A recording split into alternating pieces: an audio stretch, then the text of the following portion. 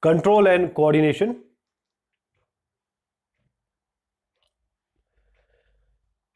The living organisms, they have different organs. All organs have, uh, you know, different works and they should work in cooperation and coordination. So when they work together to make a living being possible, this is known as coordination. So proper control and this coordination is uh, very much required, necessary to carry out the essential functions of the living being or life.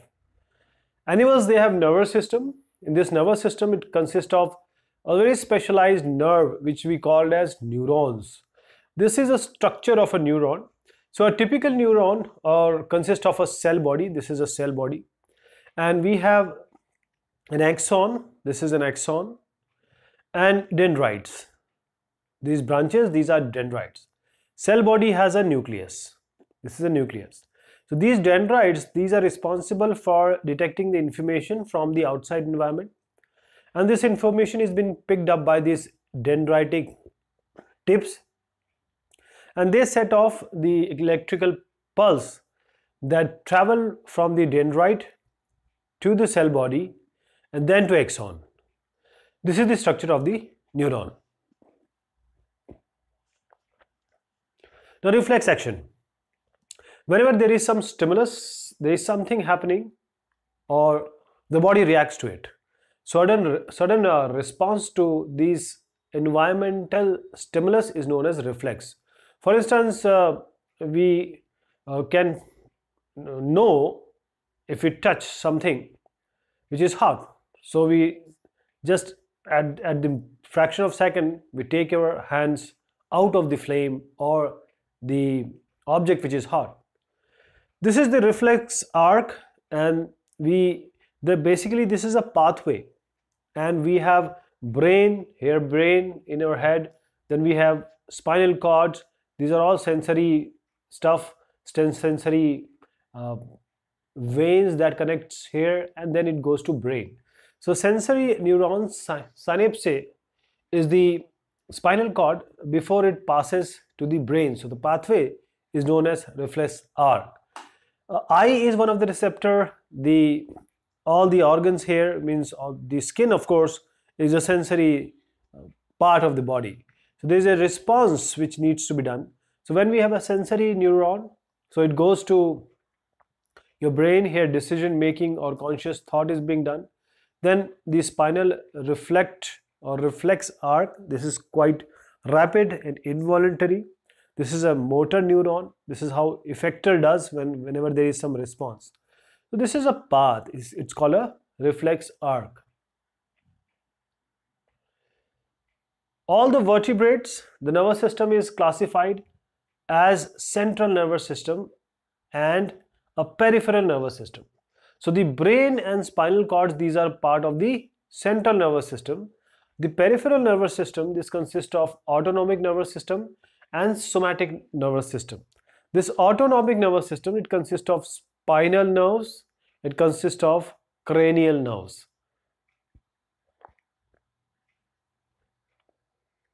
This is human brain.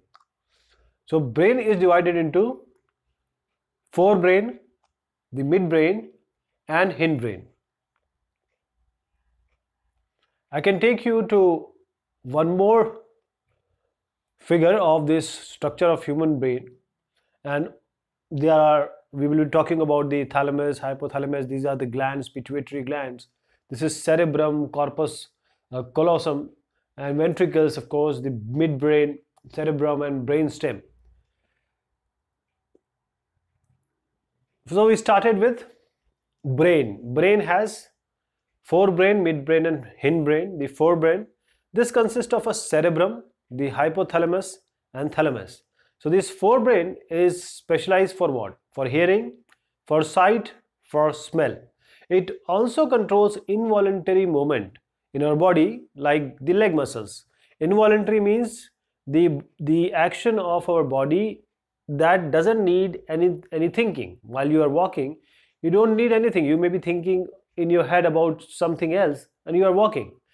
Then we have center for hunger. This is also located in the separate part of the forebrain itself.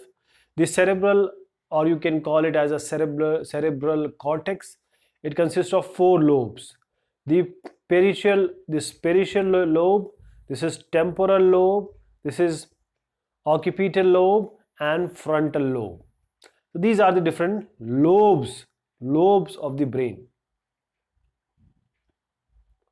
Then we have midbrain. So midbrain is located between the front and hindbrain so here midbrain is located. So it contains uh, or it controls certain involuntary actions in the body as i said walking type of thing. And uh, the voluntary things uh, are walking. But involuntary things are which are not happening by itself the brain needs to do something to indicate or to direct our body part to do something. So this controls involuntary actions not the voluntary actions like walking. Then the hindbrain consists of pons medulla and cerebrum and it consists of the salivation the blood pressure and the vomiting.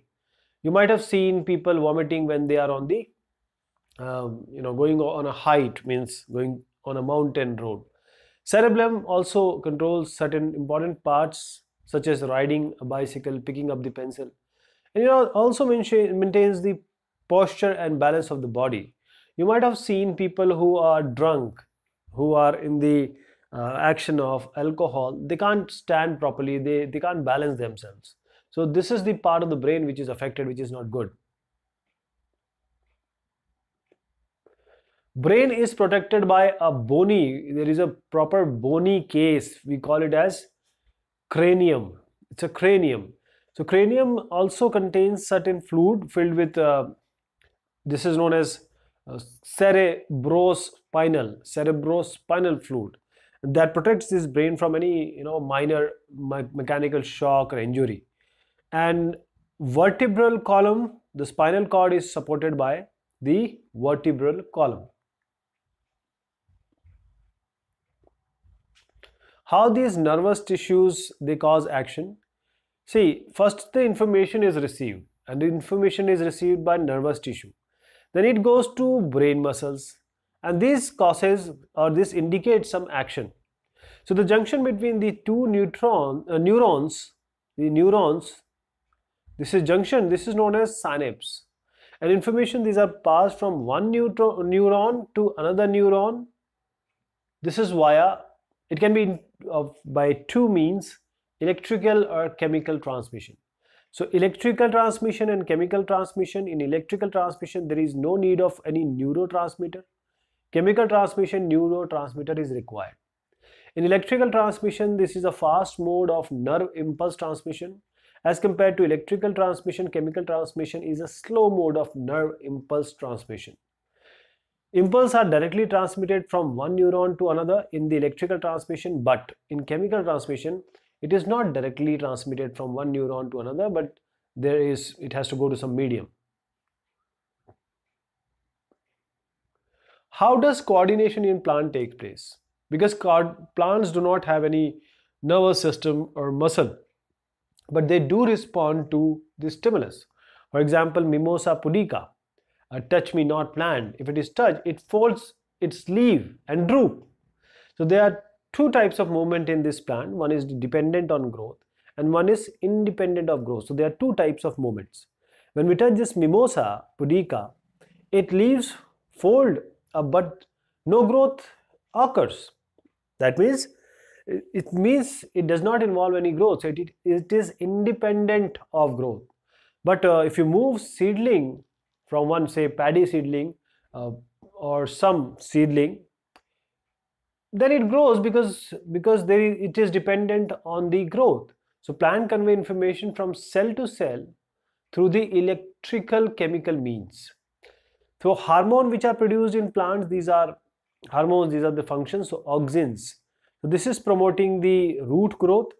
Cytokinin for promoting the shoot growth and the you can say branch growth and cell division. This gibberellin is for the promotion of flower, abscisic acid for retarding the growth, and ethylene it helps in fruit ripening.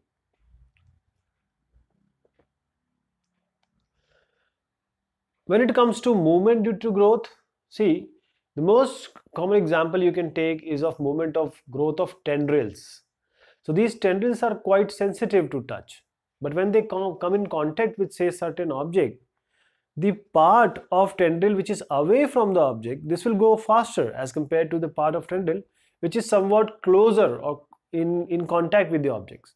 So it is a directional movement and it appears that if the plant is actually moving. So this directional movement of plants these are known as tropic movements and the movement can be say towards the stimulus or it can be away from the stimulus as well there are certain example of some movements in plant like the Phototropism, that is the movement, movement due to light. The gravitropism, that is the movement due to gravity. Hydrotropism, movement due to water.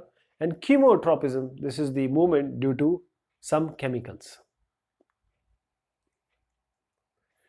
Endocrine glands, all these which you see here, these are human body glands, endocrine glands. So they are chemical messengers. Very small quantity they are being secreted in very small quantity but they are chemical messengers. And there are two type of glands endocrine glands and exocrine glands endocrine and exocrine. These endocrine glands they do not have ducts because they do not have ducts they can't carry the secretion they produce the hormones right from here we start hypothalamus, pituitary, pineal, thyroid, then parathyroid, here itself, thymus, then this is adrenal, and we have kidney, pancreas, especially for you know different juices for digestion, then ovaries, uterus, testes, these are testes. These balls are testes. So these exocrine glands, they do not have ducts to carry their secretion. They, they do have, sorry. Endocrine, they do not have ducts to carry their secretion, but exocrine, they do have ducts to carry their secretion. There are certain different hormones being secreted in the body and their function we must know. Endocrine gland like the thyroid gland. So this produces thyroxine, thyroxine, thyroxine that is regulating the metabolism of food, carbohydrate, protein, fat adrenal gland. This produces adrenaline. It is secreted at the time of fear fight flight you know all you know high powered fast activities. Adrenal gland produces adrenaline. Pancreas this produces insulin and glucagon which regulate glucose metabolism in our body. You might have seen people saying that i have sugar. That means there is a problem of insulin. Testes this produce male hormone this is testosterone.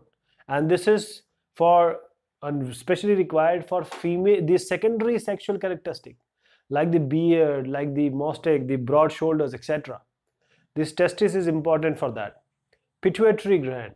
Pituitary gland it secrete growth hormones that is regulating the growth and development of an organism so the growth the height the weight etc these are mostly dependent on the secretions from the pituitary gland.